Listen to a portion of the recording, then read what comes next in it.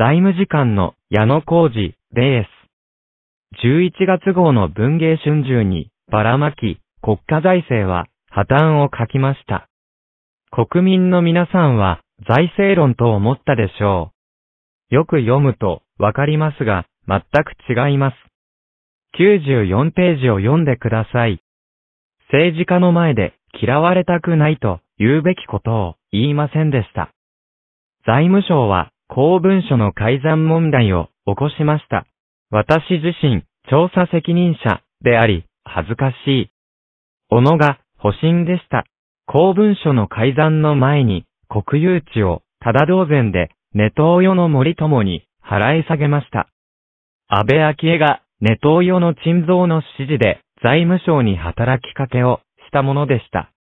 財務省はネトウヨには気をつけようと常に注意していました。それが、小野が保身に目がくらんで、こんな大それた失敗を犯してしまったのです。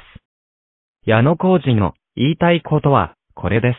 いくら財政論を言っても、ネトウヨ総理にすり寄る保身の官僚の言うことを聞く国民は一人もいません。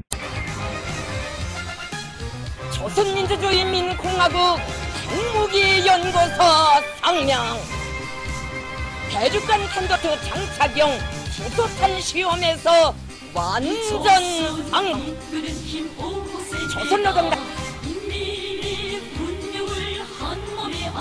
조선민주주의인민공화국 핵무기연구소 상명 대륙간 탄도트 장착용 수소탄 시험에서 완전 상